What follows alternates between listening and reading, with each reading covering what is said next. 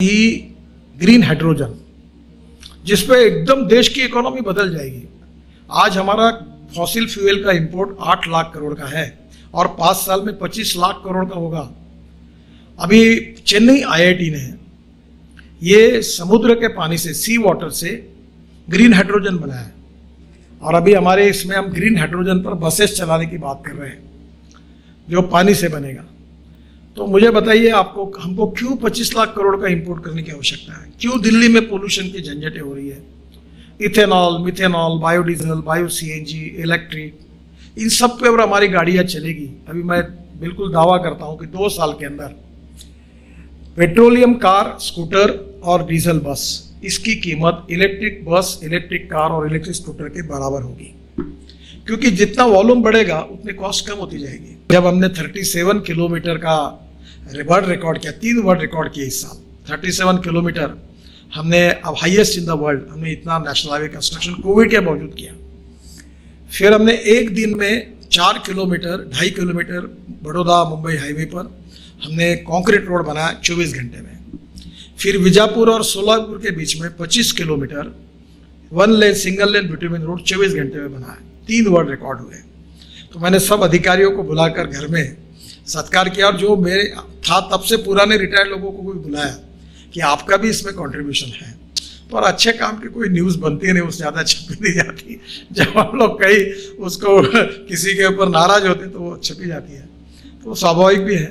Automobile industry जो है, यानी आप इसमें स्टडी करिए आपके हर, मुझे याद है अभी सरकार जी, जब जब भी मैं आते हैं तो मैं उनको कहता हूँ, एक रिसर्च इंस्टीट्यूट हर मीडिया के पास होना चाहिए, ताकि हमें काफ़ी जानकारी मिलेगी।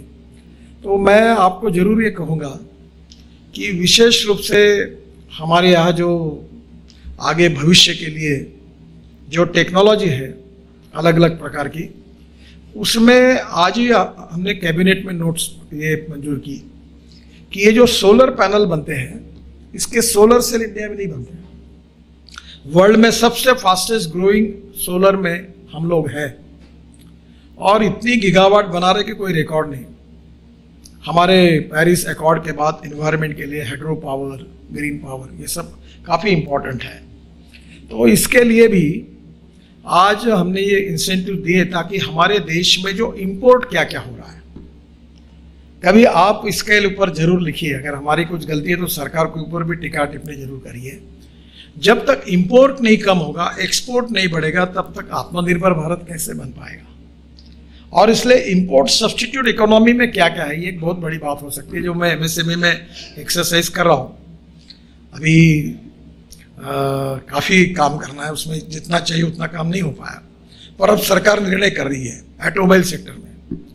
केवल एक ही चीज़ आपको बताता हूँ, साढ़े सात लाख करोड़ का ऑटोमोबाइल सेक्टर है। साढ़े तीन लाख करोड़ का एक्सपोर्ट है। ये हीरो, बजाज और टीवीएस ये टू व्हीलर कंपनी है। फिफ्टी परसेंट प्रोडक्शन एक्सपोर्ट कर रहे हैं। और कल वो मैंने इलेक्ट्रिक साइकिल देखी बाइसिकल जर्मनी में उसका डिज़ाइन किया था हीरो वालों ने बनाया लुधियाना में भी। उसका मार्केट वर्ल्ड का छः लाख करोड़ का है। और वो पूरी अब इंडिया में बनने लगी है तो ये भी कम से कम इसी से हम लोग हमारे देश का एक लाख करोड़ का एक्सपोर्ट बढ़ा सकते हैं और कितने छोटे छोटे लोगों को काम मिलेगा। तो आज वर्ल्ड में अपॉर्चुनिटी है। तो इसलिए इंपोर्ट कम करना और एक्सपोर्ट को बढ़ाना, ये प्रोग्राम में भी आप ज़रूर बढ़ाइए कि हमारे देश में क्या होगा अभी ऑटोमोबाइल इंडस्ट्री का जैसे मैंने बताया, अभी हमने स्क्रैपिंग पॉलिसी लाई। अब aluminium copper steel plastic and rubber ये एकदम सस्ता हो जाएगा। तो हमारे कंपोनेंट्स जो है, उसकी कॉस्ट चालीस टक्के कम होगी। तो हमारे देश में मेरी ये कोशिश है, उद्दिष्ट है कि पाँच साल के अंदर हिंदुस्तान वर्ल्ड का ऑटोमोबाइल मैन्युफैक्चरिंग हब बने। और ये करने के लिए नॉलेज इज़ ए पावर और आप लोगों का रोल बहुत ही इंपॉर्टेंट है। अभी लिथियम आयन बैटरी 81 परसेंट देश में बन रही है। अभी मैंने सभी डिपार्टमेंट और इसरो डीआरडीओ और प्रधानमंत्री के साइंटिफिक एडवाइजर बड़ी मीटिंग नीति आयोग सबको बुलाया। और अब हम लोग ऑलरेडी रिसर्च कर रहे हैं। बंगलोर का पोर्ट एयरपोर्ट अभी बाम्बू का बन रहा है। तो बाम्बू की इकोनॉमी अपनी पाँच लाख करोड़ की बन सकती है।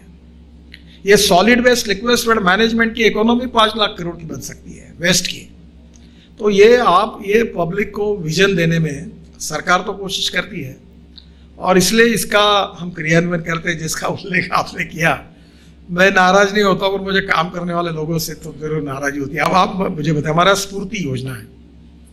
उस योजना में, जिसका मैंने भाषण में कहा था, उसमें जो कारागिर होते हैं हैंडलूम हैंडीक्राफ्ट्स में काम करते हैं, उस योजना को उनके ज़िले में सबमिट करने के बाद मंजूर होने के लिए सात सात साल लगते हैं। अब ये सात साल सुनकर ही मेरा माथा बहुत गर्म हुआ। और मैंने सबको कहा कि ये तीन महीने में होना चाहिए। और नहीं हुआ तो मैं एक काम करूँगा, एक सर्टिफिकेट तैयार रखूँगा वीआरएस का। आपका नाम डालूँगा और नरियल का बोरा ला के रखता हूँ ऑफ़िस में, हाथ में नरियल और सर्टिफिकेट अपने घर जाओ। वी डोंट नीड यू तब मेरा परिणाम ये हुआ कि अभी मैंने 50 क्लस्टर का आठ दिन, पंद्रह दिन पहले उद्घाटन कर दिया। और अभी सब योजनाओं का मैंने कहा तीन महीने में जो नहीं करेगा उसकी छुट्टी। अब इतना फास्ट काम हो रहा है कि मैं जो चार साल में मैंने डेढ़ सौ क्लस्टर किए थे हमने अब हमने पिछले एक महीने में साढ़े तीन सौ किए और अभी ये स्पीड बढ़ गई। तो कितने गरीब कारागिरों को काम मिलेगा?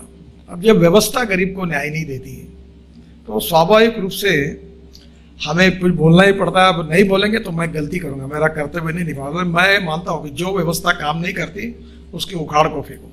मैंने लखनऊ में परसों फ्लाईओवर देखा। सब अच्छा था। योगी जी, मैं, राजनाथ सिंह जी ने और मैंने देखा एक्सपेंशन जो ठीक नहीं है। तो मैंने कहा, ये एक्सपेंशन ज्वाइंट मैंने पूछा हमारे अधिकारी को, तुम हिंदुस्तान में इतने फ्लावर बनाते हो? एक भी जगह एक्सपेंशन ज्वाइंट सही है क्या मुझे बताओ? चुपचाप बैठ के नीचे मुंडी डाली। आपको देखना है तो मुंबई में कभी आप जाओगे तो जे जे हॉस्पिटल से लेकर वीटी तक एक फ्लाईओवर बना है। मैंने ही बनाया, जब मैं 95 में मंत्री था। आप उसमें जाइए, आपका पेट का पानी नहीं हिलेगा।